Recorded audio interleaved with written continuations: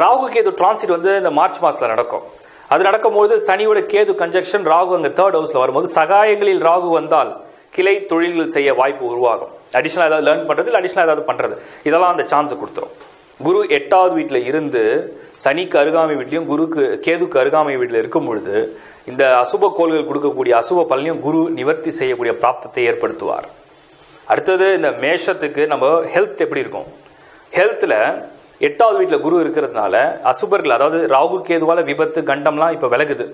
சனியாலையும் உங்களுக்கு வந்து நோய் விபத்து பிரச்சனைகள்லாம் நீக்கப்படுது. நோயிலேருந்து நிவர்த்தி. ஏன்னா குரு எயித் ஹவுஸில் வரும்பொழுது கெட்டதை அழிப்பவன் கெட்டதை கலைபவன் அப்படின்னு சொல்லக்கூடியதான் சுப கிரகம். இந்த கிரகம் உங்களுக்கு நோயிலேருந்து நிவர்த்தியை கொடுக்கும். திருமண சம்பந்தப்பட்ட விஷயங்களுக்கு வந்து தடங்கல்கள் கிடையாது. இந்த வருஷம் வந்து உண்மையிலேயே வந்து பிளாக் ஆர் அப்டகல்ஸ் கிடையாது.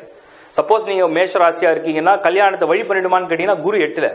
ஸோ குரு பார்வை சுப பலன் அப்படிங்கிறதும் கிடையாது. அப்போ தடங்கல்களும் கிடையாது நல்ல பலனும் கிடையாதுன்னா ஒருவேளை நீங்கள் சூஸ் பண்ண போகிற பார்ட்னர் சுப ராசிகள் இருந்து குரு பார்வையில் இருந்தால் அவங்களுடைய இன்ஃப்ளூயன்ஸ் மூலிமா அவங்க கல்யாணம் நடக்கிற வாய்ப்பு உண்டு. அந்த வகையில் இதை நம்ம பாசிட்டிவாக எடுத்துக்கலாம். சைல்டு பர்த்துக்கு ஏதாவது ப்ராப்தம் உண்டான்னு கேட்டிங்கன்னா குரு பார்வை அந்த புத்திரஸ்தானம் சொல்லக்கூடிய ஐந்தாம் இடத்துல பதியாது. அது பதியலனாலும் கூட உங்கள் பார்ட்னருடைய ராசி அந்த மாதிரி பதிவு இருந்தால் அவர்கள் மூலயமா இந்த சுப பலன் ஏற்படலாம். திருமணம் குழந்தை பாக்கி ரெண்டுத்துக்குமே இப்படி தான் அந்த பலனை எடுத்துக்க முடியும். ஒரு ஏஜுக்கு மேலே உள்ளவங்க கொஞ்சம் வயசில் மூத்தவங்க சீனியர் சிட்டிசன்ஸ் அவங்களுக்கு ஹெல்த்தில் வந்து ரொம்ப ஸ்ட்ரபிள் நிறைய ஸ்ட்ரகிள்ஸ் வந்து லாஸ்ட் இயர் கொடுத்தது. இந்த வாட்டி அது நிவர்த்தியிட எஸ் அடையும்.